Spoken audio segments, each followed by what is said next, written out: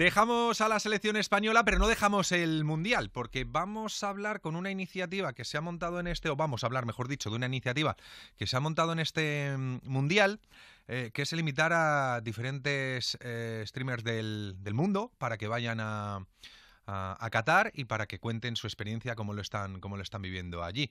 Ha habido en esta invitación un montón de, de españoles y uno de ellos es Eloy González Marañón, más conocido como Elopi 23.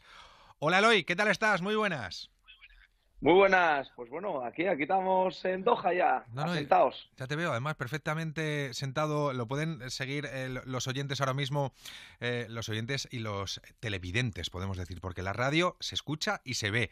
Lo pueden ver a través de las redes sociales, a través de Twitter, a través del canal de YouTube, de YouTube y a través de eh, cadena 3 wcadenaser.com y te veo con la camiseta del Sporting, con la camiseta de Asturias, la bandera Asturias, perdón, y la bandera España, ¿no? O sea, llevas todo, el pack completo. Claro, vamos ya preparados para todo. La camiseta del Sporting que jugamos hoy, la de Asturias que ya la tierrina y la de España que venimos a por la segunda Copa del Mundo.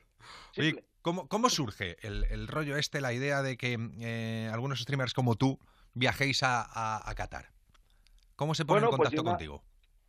Sí, yo una iniciativa de, digamos, el, ¿cómo se llama esto? Lo del eh, fan líder que llamaron ellos, y a través de la FIFA y Qatar hacen ahí un, complejo y hacen que de las 32 elecciones, pues 50 tenemos invitados aquí a, a Qatar en plan eh, vuelo, alojamiento y la entrada para el Qatar-Ecuador, que se juega mañana. Y el resto ya para que nosotros disfrutemos y si queremos ir a ver otros entradas, otros, otros partidos, pues hay que soltar la panoja y búscate la vida para comprar entradas.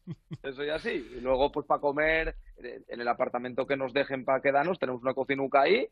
Y bueno, pues vamos haciendo hoy, por ejemplo, cayeron unos macarrones boloñesa de, de mi amigo Borja que fueron espectaculares, ya te lo digo. Y luego tenemos lavadora para lavar la ropa, o sea, como un piso de alquiler de un mes, pero compartiendo entre los diferentes que vinimos. Como un piso de estudiantes, ¿no? Como puede ser más o menos rememorando viejas vivencias, ¿no? En un piso de estudiantes. Exactamente. Oye, tal cual. Eh, eh, Eloy, una, una pregunta que se hace mucha gente con esta invitación a diferentes streamers de eh, que tienen evidentemente cierta influencia, unos más, unos menos, unos más seguidores, otros menos, lógicamente, pero ¿Qué os han pedido? Quiero decir, ¿os han puesto algún tipo de condicionante? ¿Os han dicho, sí, venís invitados, eh, pero tenéis que hacer algo o no? No, no, lo único que nos dijeron es que tenemos que ir al partido para el cual nos regalen les entradas, que lleva al Qatar Ecuador. Mm. Simplemente eso. O sea, ir a ese partido, acudir a esa presentación del Mundial, que es el primer partido, y luego el resto, pues eh, ya cada uno que haga lo que quiera. Si quieren ir a la fanzón a ver allí los partidos en pantalla gigante allí, si quieren ir a buscarse la vida, pues eso, para ver a España, Alemania, Francia, quien quieras, pues pasando por taquilla, porque no nos faciliten ni siquiera que nos dijeran, mira, ¿qué entradas queréis que, pues por lo menos, digamos, eh, pagándonosles, os les aseguráis? No, no, nada. Nosotros tenemos que entrar en, la página de la FIFA a pegarnos allí cada vez que suelten cinco en la reventa de alguien que se eche atrás y no venga y, así andamos. Evidentemente no tenemos ni para la final, ni para semis, ni para nada. O sea, solo para el inaugural. Para el inaugural, exactamente. ¿Y cuál es tu idea? Quiero decir, ¿qué es, qué, es, lo que tienes pensado hacer? Eh, el inaugural es mañana a las 5 de la tarde hora española y a partir de ahí, mm. ¿qué, vas a hacer? Hombre, pues a partir de ahí, la mi idea es ver España hasta donde lleguemos. Eso hay que intentarlo al 100%. Evidentemente está complicado porque la verdad que sobre todo para España-Alemania, ahí no limos ni una entrada, parece, por la zona.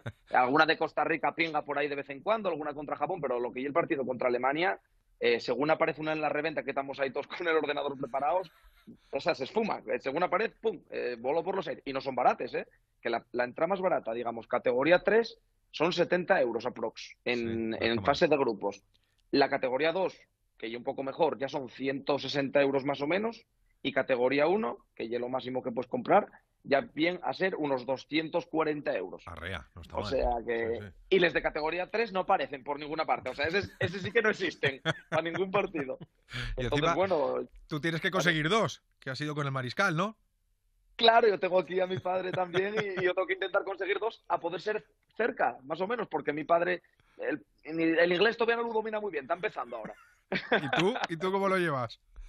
Yo bien, yo tengo un inglés de 100 años que eso oye la ley de la calle. Vamos, para hacerte entender bien, ¿no? El, el, spanglish que utilizamos muchos y el idioma gestual que yo, eso nos lleva a todas partes, macho, eso, eso es así. Sí, date cuenta que, por ejemplo, ayer salíamos parte de esta delegación de España que veníamos juntos y salíamos desde Madrid a las 3 y algo de la tarde todos. O sea, ayer hablo, perdón, por el jueves. Y yo, yo qué pasa que tengo, tuve un poco el reloj un poco perdido. Y salieron todos y yo quedé en tierra, ¿eh? O sea, yo no, no embarqué con el resto. Porque aquí para entrar al país, para durante el Mundial, necesites la Haya Card, que ya digamos el pasaporte oficial para poder entrar al país durante el Mundial, ¿de acuerdo? Ahí donde tú tienes registrado el nombre, el pasaporte, les entráis que lleves, un poquitín para tenerte localizado. Lleva un código QR y con eso pues ya donde tienes también el metro gratis, el autobús gratis para poder moverte por la ciudad. Hmm. Bueno, pues en la mi hija ya había un fallo que en vez de poner pasaporte y el número de pasaporte ponía travel document o algo así y el número del pasaporte. Ah. Como no coincidía, como no coincidía exactamente igual que el pasaporte, que no podía volar. Pues ahí tuve que, tuve tirando de teléfono allí, hablando con Qatar, emails para atrás y para adelante, y al final, por lo que te digo, el inglés de año embarqué a las once y pico la noche. a, ver, si ahora vas a tener problemas para volver a España. Bueno, esa va a ser otra, ya, ya de momento. Por eso te digo que me meta Lucho en una maleta o algo, que diga que soy asistente del streamer o algo. ya no, estoy fichelo allí, fichelo allí para los streams, que como empezó con Twitch ahora, fichelo allí, encontrélo, llévolo para España. No sabes qué buscarlo. Eh, oye, pregunta del millón, que seguro que se están haciendo algunos de tus seguidores. El tema PLM, ¿cómo anda por allí la búsqueda? Ah. A ver, encontré QLM, un cartel ahí en mitad de la zona grande de Doha, pero PLM todavía no me puse 100% con el focus de encontrarlo. Tengo el objetivo de hacerlo. ¿Pero crees, crees, que habrá o no? Hombre, yo de momento ayer fuimos a hacer la primera compra al, centro comercial aquí y ya de mano lo que viene siendo el pan, aquí hay mucho de esto que son tortes de estos así, de pan roscar y hacer historias de ellos, pero pan lo que lleve pan, pan del pinchu de las 12 con el café, está escaso, está escaso. Eso vamos un poco ahí al límite. Habrá que buscar el mítico panadero aquí a ver si hay manera de, funcionar con él. Bueno, y dicho esto, explícalo hoy qué es el PLM, porque habrá gente ah, que no sepa de qué estamos hablando, claro. Igual piense que estamos hablando de, alguna, de algún arma o algo. No, no, no. Inofensivo total. sí, y es saludable incluso. Oye, el pinchu, bocadillo, bocata pequeño, de pechuga, pues era la plancha o rebozada, eso al gusto, con lechuga y un toque de mayonesa. No más, ni tomate, ni queso, no, no, pechuga, lechuga, mayonesa, PLM, simple, sin complicaciones. Correcto, que luego se complican las cosas y sale mucho peor. De momento, el ranking, ¿cómo va? ¿El mejor del mundo que hayas probado, dónde? Uf, es que en la cuenca minera del Nalón hay los muy buenos, ¿eh? los chicles de allí tienen la receta bien trabajada. No te sabría decir. Eh, tengo, ya te digo, es que los que hay por la cuenca son muy buenos todos. Tenéis que venir a la cuenca del Nalón ahí a probarlos. Eso sin duda. Hay que visitar Asturias en cualquier momento, que eso está, está fantástico. Eh, oye, cómo, cómo, cómo, has visto tú lo de Luis Enrique? Eh, se ha hecho streamer, eh, creo que hoy ha llegado incluso a cerca de 300.000 usuarios conectados, que es una auténtica locura. ¿Qué te parece? ¿Le, has estado viendo?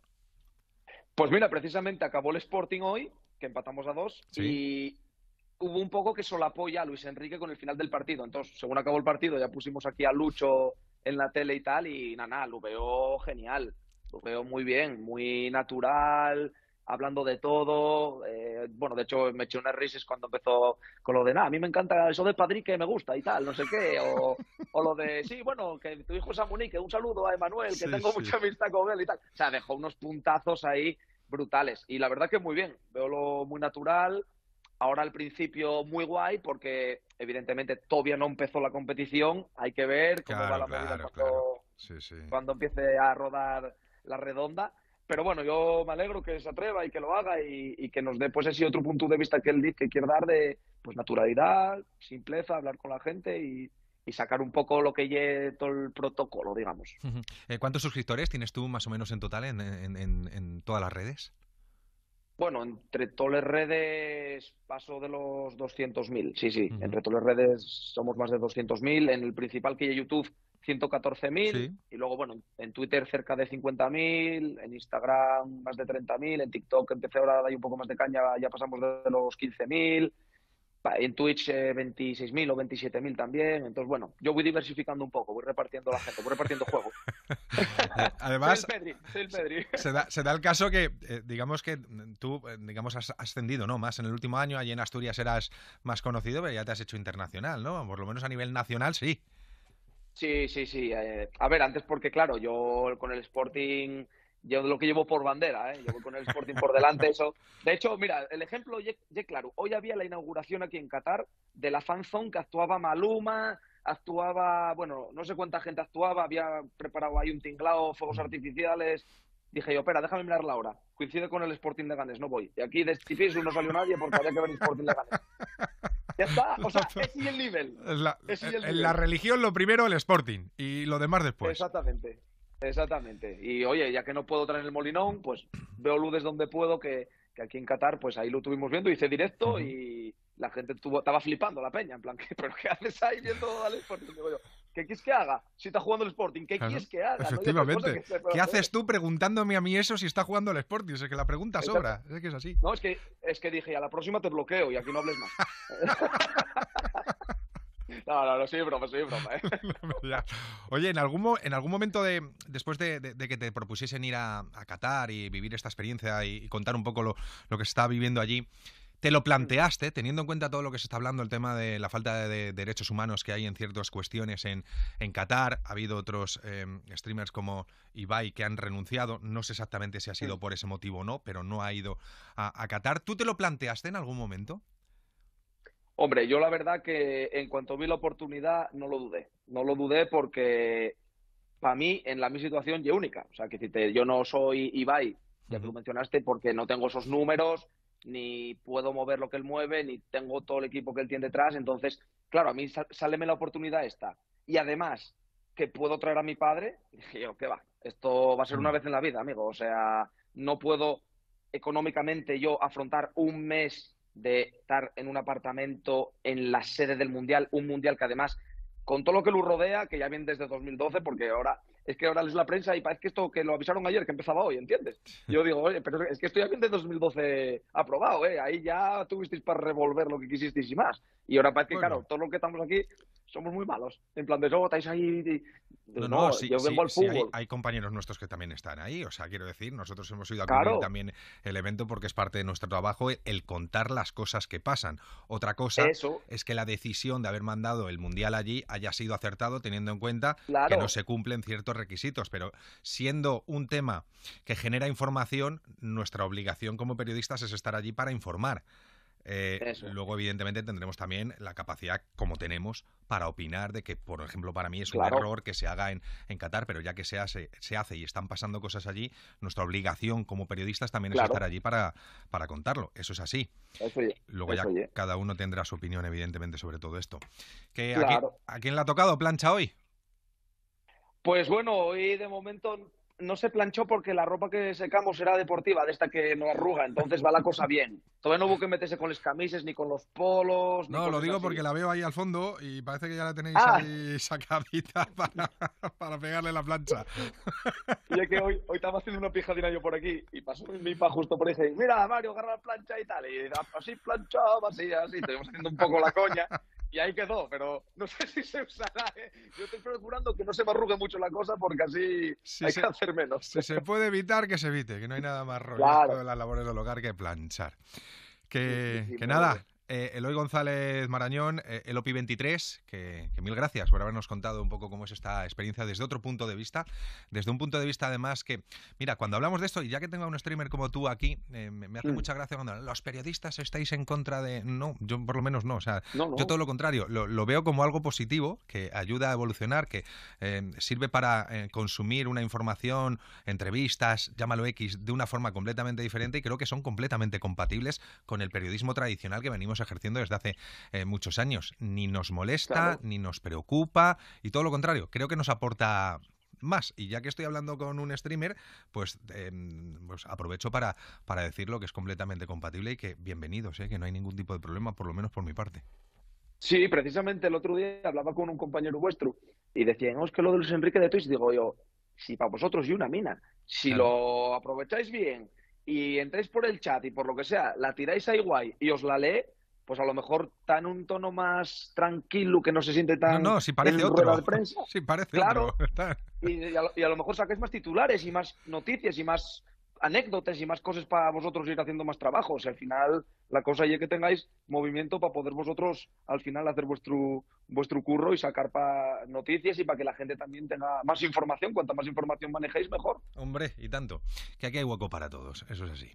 Eloy, Eso que mil gracias, que vaya fenomenal. Dale un abrazo también a, a tu padre y disfrutar a tope de esta experiencia, ¿vale? Papá, arr- arrímate aquí, oh, arrímate aquí, pa, un segundo, hombre, que, que, que, te van a dar un saludo ahí.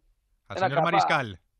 Échate aquí, échate aquí, ponte aquí. Señor- Sí, están, están despidiendo, padre. Señor Mariscal, buenas. Bueno, no, no, no le vemos, ¿eh? O sea, que os agacha un poquito más o le vemos, A ver, métete le vemos aquí. hasta el hombro. Siéntate tú aquí. Ahí, ahí. Tú.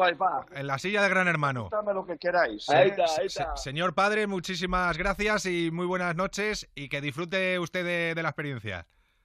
Un saludo, amigos. Gracias. Un abrazo muy fuerte a los dos, cuidaos. Hasta luego, gracias. Chao.